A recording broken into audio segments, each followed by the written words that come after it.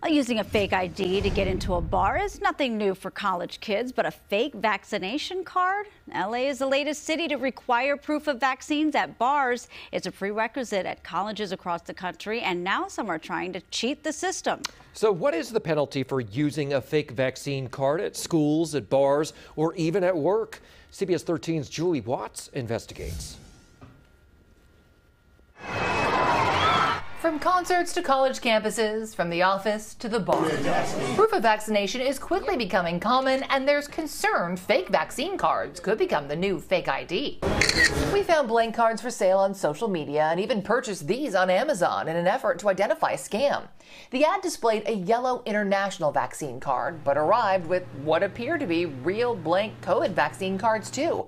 We're turning the cards over to authorities. What are the legal implications of buying or selling a fake vaccine card. So it kind of depends on the situation. FBI Special Agent Sean Ragan says they've been working to fight vaccine card fraud for months. Utilizing an official insignia of a federal agency, that would be a federal violation. The unauthorized use of the CDC logo is a federal offense. So if you were to forge this blank document or create a fake one with the CDC logo, it's punishable with a fine and up to five years in prison. And that's just the federal charges. If you're using the internet, for example, there could be a various uh, violations, both at the state and at the federal level. A Napa doctor was the first to face federal fraud prosecution in an alleged fake vaccine card scheme. The Central Valley bar owner busted, accused of selling much more than booze. A San Joaquin County bar owner faced similar charges, in addition to charges for falsifying medical records and identity theft. Law enforcement officials tend to go after the bigger fish. UC Hastings law professor John Myers says, much like drug dealers, the feds generally focus on the people accused of selling the cards. But he stresses when sellers get caught, their records may reveal the buyers too.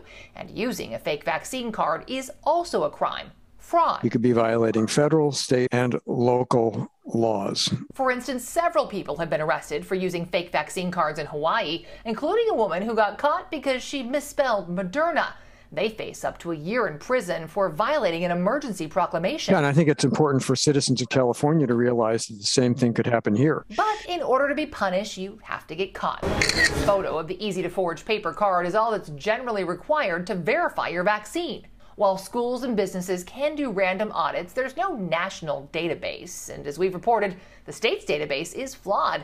Many who are actually vaccinated can't find their records due to typos or missing information from the vaccine provider.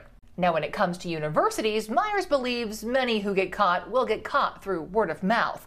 And he warns, criminal penalties aside, if you go into a classroom or a hospital or a bar with a fake vaccine card and you infect somebody, they can sue you.